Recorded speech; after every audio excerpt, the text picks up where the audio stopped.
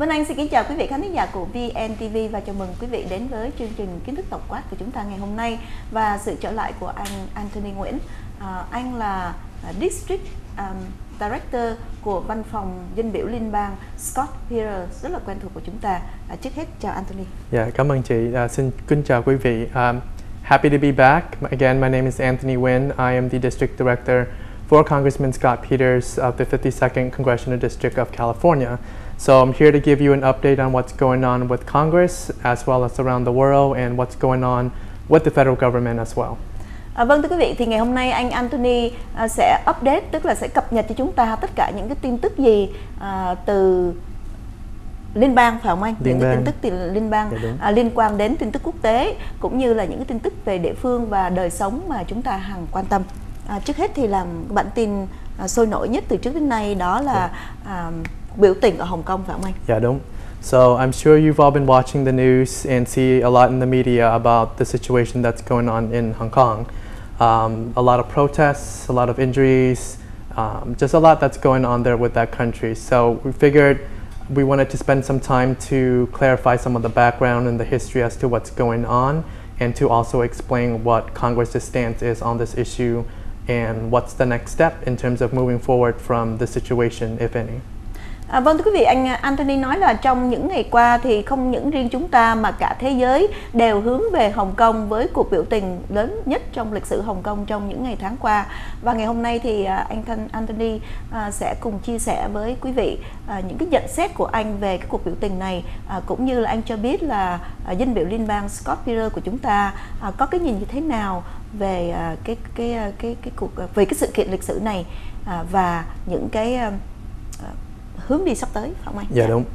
So the event that's going on in Hong Kong, this is not the first time that this has happened. You all might have remember yeah. back in 2014 mm-hmm. what they call the umbrella movement, where mainly students and the youth of Hong Kong basically an uprising against the government in terms of taking ownership of what they want for their country and the future of their country. So the recent incident that happened in Hong Kong revolves around what's called the extradition bill.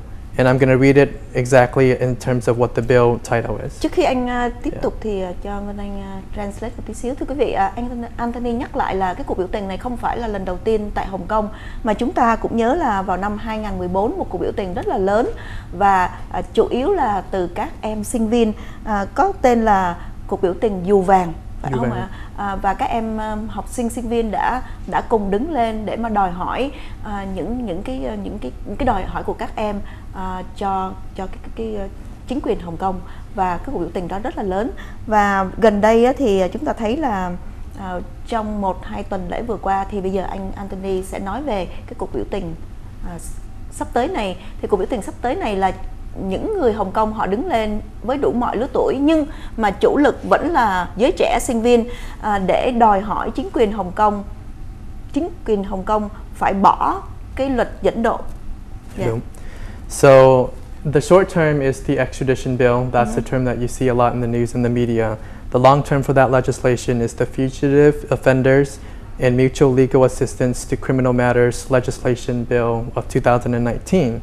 And what this bill would do is to allow Hong Kong to extradite fugitives, mainly people who are fleeing from custody or from the government, to territories where they don't have a formal extradition deal, such as China, Taiwan, and Macau. Um, so basically, they would be tried outside of Hong Kong, and a lot of people felt that, you know, as someone who is from Hong Kong, why are we sending our people to be extradited somewhere else, Beijing, for example? um, and that it should be kept within Hong Kong, not to give it to China, given all that's going on in the mainland. À, vâng thưa quý vị, à, với cái luật dẫn độ mà trong những ngày qua mà chúng ta thấy là người dân Hồng Kông đã cùng à, nổi đã cùng biểu tình một cách đồng loạt lớn nhất trong lịch sử Hồng Kông là họ không những là họ à, cái cái ờ, cái cái đòi hỏi của họ là cái luật này phải được bãi bỏ vì khi mà cái luật dẫn độ này mà chính thức mà có hiệu lực thì sẽ không những đe dọa cho những người Hồng Kông mà cho những người khác đến với đất nước ừ. Hồng Kông luôn phải không anh? Dạ đúng. Tại vì à, nếu mà cái luật này mà chính thức được công nhận thì người Trung Quốc à, có thể đòi hỏi chính quyền Hồng Kông dẫn độ những người này về nước Trung Quốc để họ có thể xử sự à, để họ có thể xét xử theo chính sách của Trung Quốc mà chúng ta cũng biết là ở Trung Quốc là chính sách cộng sản cho nên Yeah. uh, rất là lo sợ dạ vâng. Dạ, dạ đúng. Với lại chị có coi tin tức thường xuyên có thấy trong TV là nó có nhiều rất là nhiều biểu tình à, thấy cảnh sát à, spray cái tear gas. Ờ, cũng cũng đàn áp dân. biểu tình phải không? Đúng.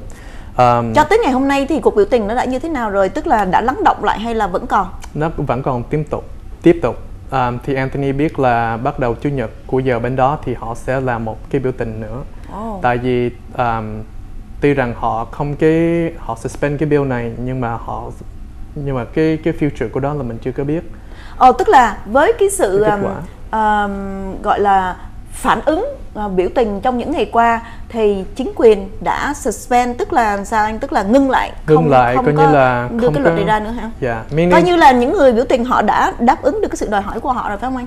for now Ồ. thì hiện tại bây giờ thì họ sẽ không cái nói chuyện về cái cái cái bill cái này đưa nữa. ờ, wow. nhưng mà sau này đó mai này đó thì mình không biết cái kết quả đó như thế nào thì nhưng mà người dân Hồng Kông họ tiếp tục đòi hỏi ờ, như thế nào nữa anh? Tức là bây giờ họ đã họ suspend vẫn rồi, là chống muốn đối bỏ luôn. muốn muốn bỏ nhưng mà nó không có cái coi như là cái final answer như là thế nào. Thì um, so because it's the bill is just suspended they the uncertainty is still there. We don't know what's going to happen the next month one year from now. So for Hong Kong without that uncertainty there's still a strong belief that this is something that they will keep fighting for. And uh, will remind the government there that they don't want this bill suspension is just a temporary answer is what a lot of the residents are saying and they want something more concrete more more definite. Suspend có nghĩa là không có nghĩa là bỏ phải không anh? không có nghĩa là bỏ. Có nghĩa là họ có chỉ là tạm thời là không có nói về cái vấn đề này mình mình sẽ nói về cái vấn đề khác. Nhưng mà sau này đó thì mình không có biết là cái cái vụ này có sẽ trở lại hay là không nó không có guarantee thì cho nên là cái cái người ở Hồng Kông đó họ muốn cái guarantee đó là sau này mai này đó thì sẽ không có nhắc tới lại cái cái bill này.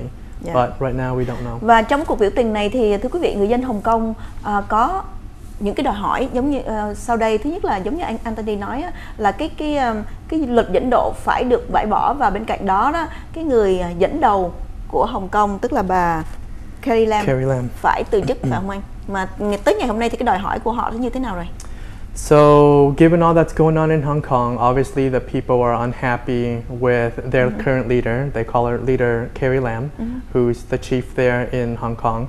Um, to Step step down, um, uh, reports have shown that her approval rating has gone down, I think by 9% or so over the week, or, and currently declining. So, in terms of the support from her own people, I think we can definitely see that it's been declining. Um, but she is still in office, um, and until now, we don't have any other information in terms of is she planning to step down, resign. It doesn't sound like she will. Um, I think for her coming out in public and doing a statement on Hong Kong and the fact that she suspended the bill, she hopes that that will be a starting point. She did say that from now on they'll have more conversation with the people about the law to learn and understand. Um, but uh, there are some people that are still not satisfied and happy with that answer. À, vâng thưa quý vị, anh Anthony vừa mới nói là bà à, Carrie Lam tức là bà người vị lãnh đạo của Hồng Kông à, với cái sự phản ứng rất là dữ dội của người dân Hồng Kông thì trong những ngày qua bà đã à, ra ngoài và nói chuyện với người dân Hồng Kông và bà nói rằng à, cái luật dẫn độ này hiện tại bây giờ là sẽ tạm đóng băng ở đó suspend tức là họ sẽ không nói gì tới cái luật này nữa. À, bà không nói gì là hủy bỏ cái luật này và bà hứa là sẽ nói chuyện với à, sẽ có những cái sự thương thảo sau này với người dân Hồng Kông. Và đó là cái lý do mà người dân Hồng Kông họ vẫn chưa yên tâm. À, và bà cũng chưa có một cái à, cái dấu hiệu gì cho rằng bà sẽ từ chức cả. Và đó Dạ, đúng. là à, những cái à, tóm lược tình hình Hồng Kông trong những ngày qua. Và thưa quý vị một lần nữa thì à, anh Anthony vừa mới cho chúng ta biết những cái update à, từ văn phòng Congressman tức là liên bang và cho biết là vào chủ nhật sắp tới đây thì người dân Hồng Kông đang có một cái kế hoạch là sẽ có một cuộc biểu tình tiếp tục. Yeah, đúng. à, cho dù là cảnh sát có những cái à, à, đàn áp cũng rất là nguy hiểm cho người dân Hồng Kông. Thì với cá nhân anh cũng như là cái nhìn của um, um, dân biểu liên bang Scott Peters thì anh nhận định như thế nào về cuộc biểu tình như thế này um, này và cái cái cảm nghĩ của anh đối với người dân Hồng Kông như thế nào? So personally, I think we there's a, a, a strong group of people that admires what the students and the youth are doing in Hong Kong. I think from for us as uh, Vietnamese American, I mean we are always constantly fighting for freedom in Vietnam and democracy, and to see another country um, rising up to their leaders and taking a stance on what they believe in in terms of the future of their country, I think that is a lot of um, carries a lot of inspiration to students, to youth, and to us here to know that you know these are a group of students who just came together and did something because they believe in what's right for their country. And so personally, I think it's definitely something that's very admirable. The, the U.S. Congress right now definitely stands with Taiwan in terms of what they're doing, and uh, we're just going to have to remain optimistic and hopeful that future protests don't result in more injuries or death. Luckily, I don't think any of the protests had any death or casualties, but people were severely injured. In Hong Kong, there is a rule that if you are part of any riots during a protest, that you could be jailed for 10 years. Oh. So we'll see what happens to people who were captured, and and um, I think the rumor was that these people would be released, but who who knows for sure. Dạ. À, vâng thưa quý vị, anh Anthony vừa mới cho biết là Congressman, à, tức là danh biểu liên bang Scott Peter của chúng ta, à, ông đứng về à, lúc ủng hộ cho người dân Hồng Kông và ông luôn luôn theo dõi những cái à, sự kiện này và ông hy vọng rằng trong những ngày tháng tới thì những cuộc biểu tình của người dân Hồng Kông sẽ không mang đến thiệt hại gì cho những người biểu tình.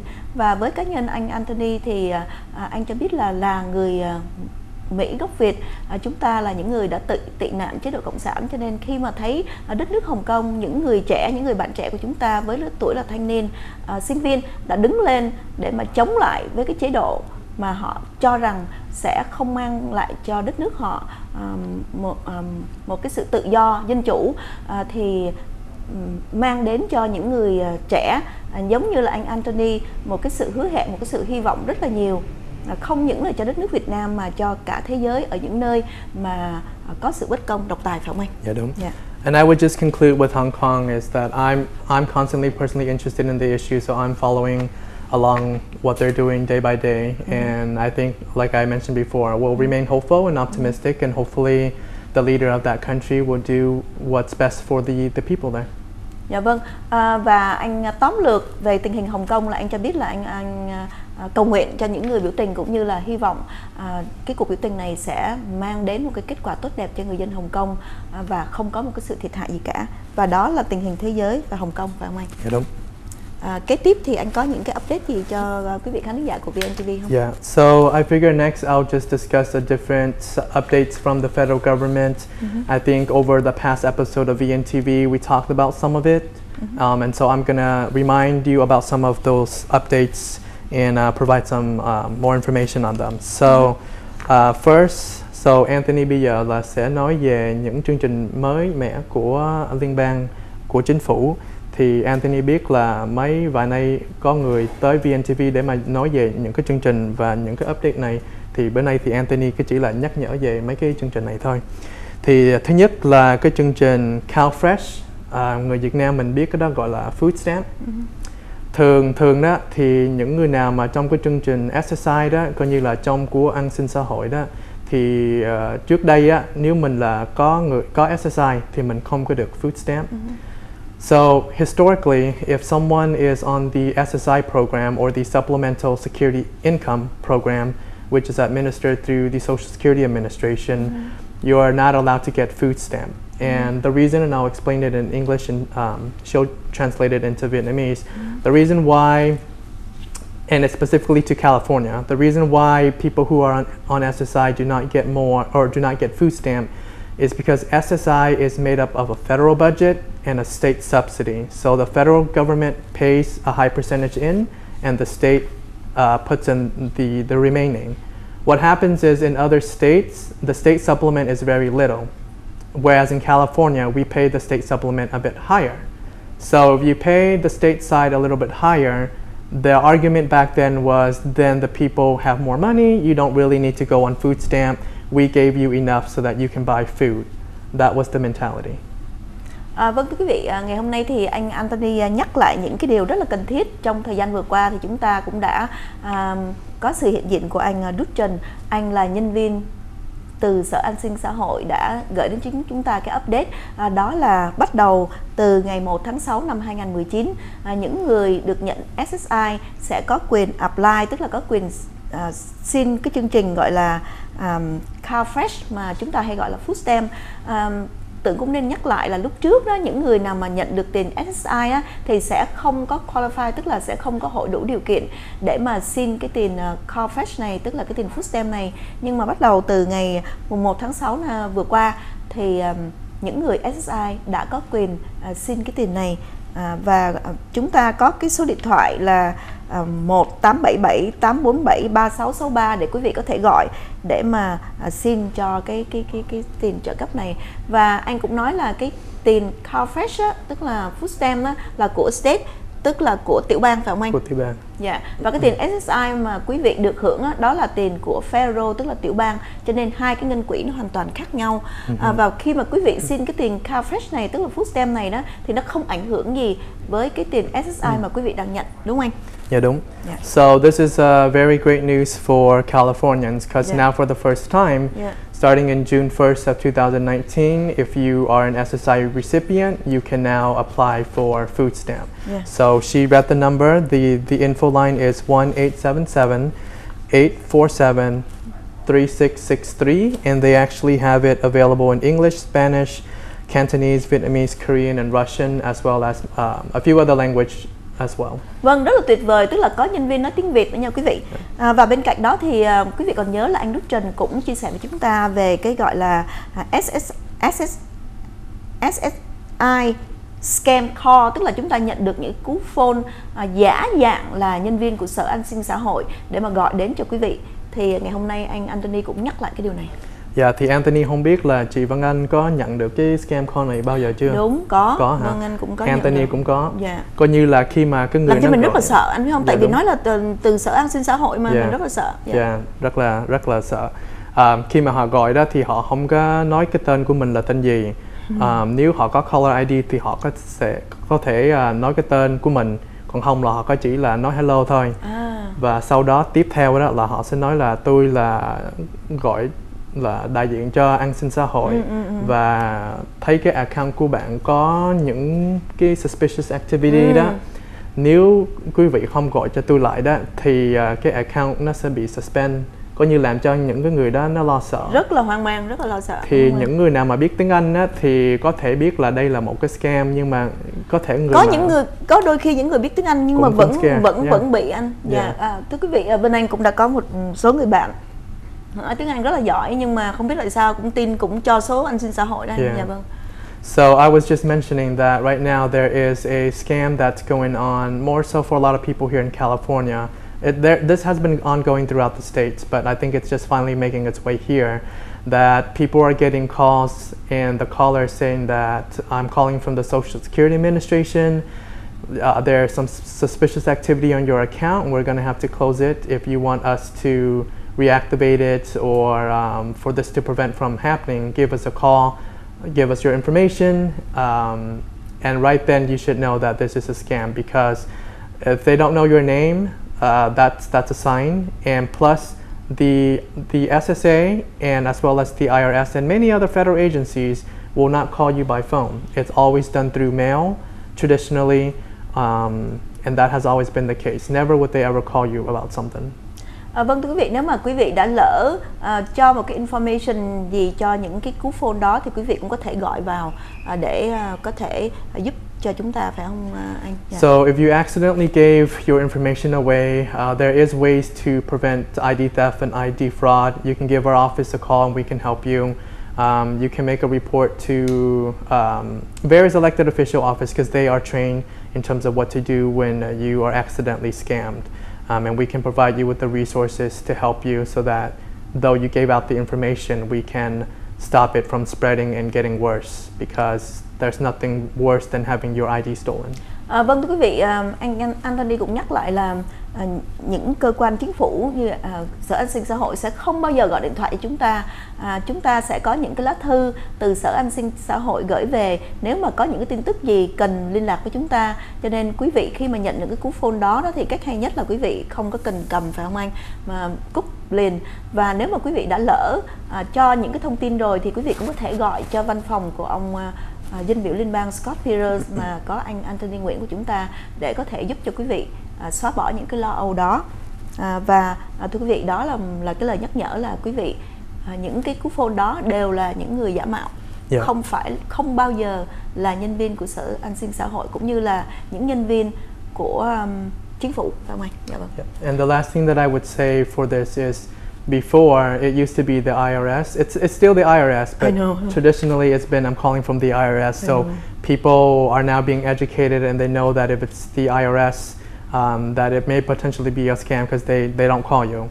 Um, so because of that, that's why now the, the scammers are using the SSA yeah. instead of the IRS. So they're catching on, but I think if we can all tell our friends and family about the scam, uh, that we can protect ourselves. I, I, think the rule of thumb is just when a, a, a, number calls you and you don't know the number, just don't pick up. If it's important, they'll leave a voicemail. If it's more important, then they'll mail you something.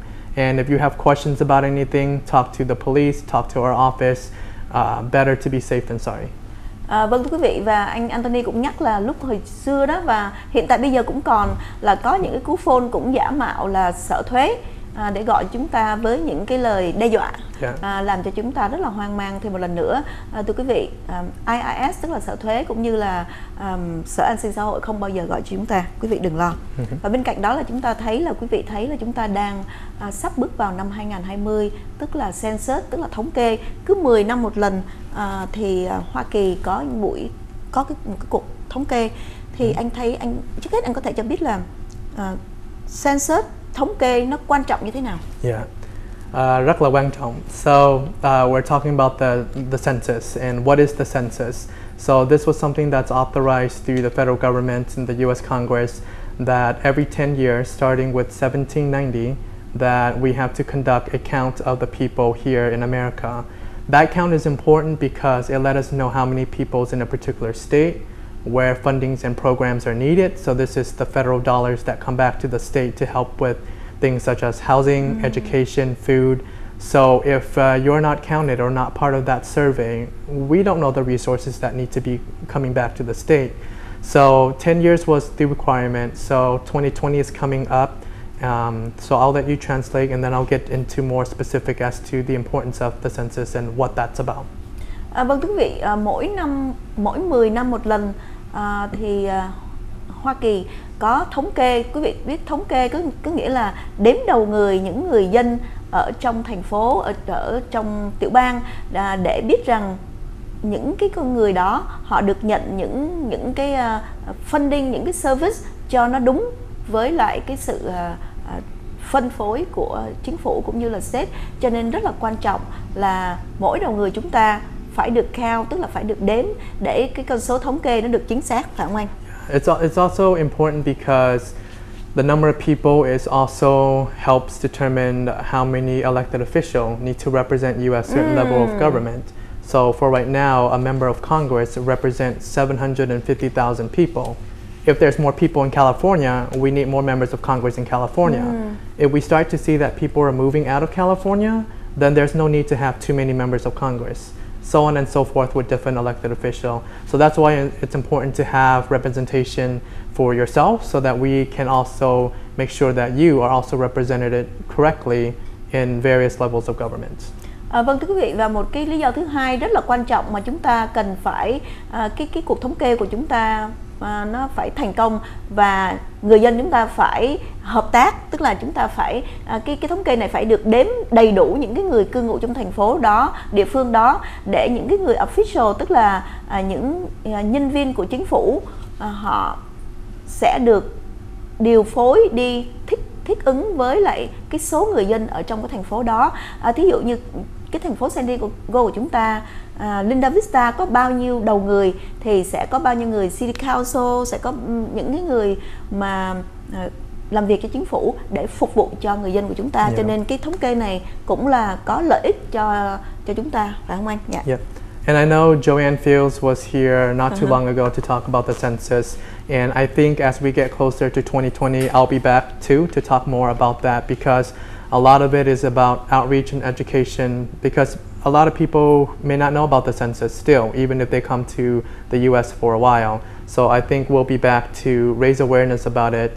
Um, a census basically, they send you a survey to ask certain questions and get demographics so that they can better understand the makeup of America.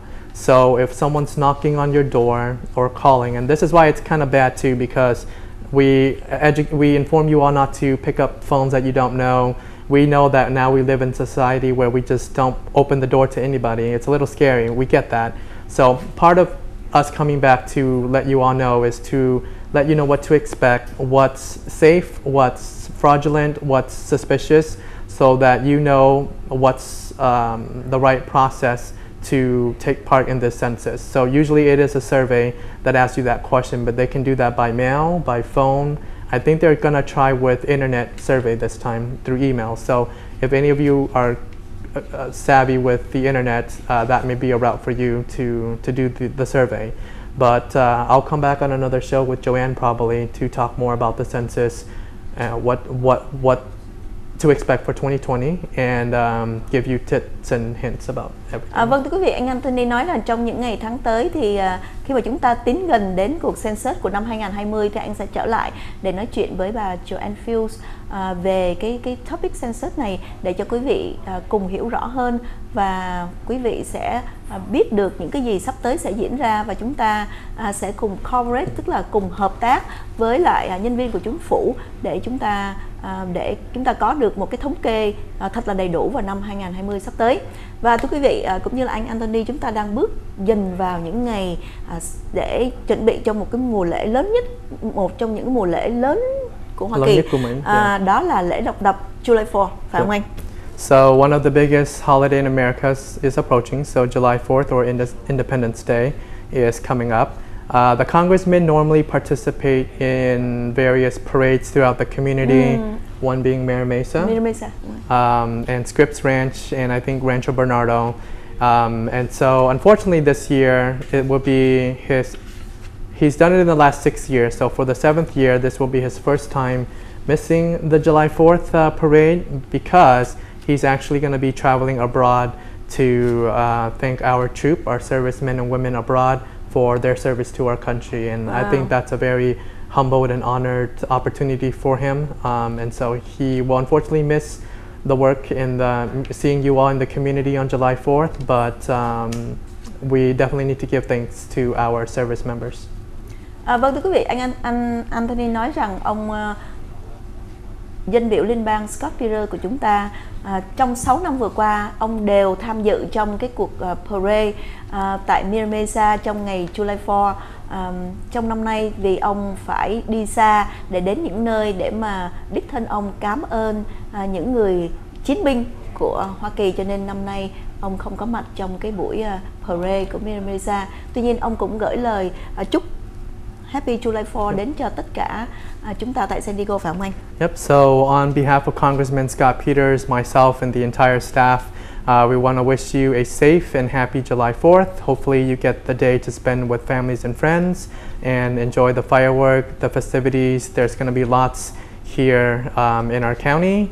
I know the San Diego County Fair will be doing something that's also their last night. So if you're out uh, up there, have fun and stay safe. And uh, we wish you the best. À, cảm ơn sự chú ý lắng nghe của quý vị và các bạn và xin thân ái chào tạm biệt. Thank you, everyone.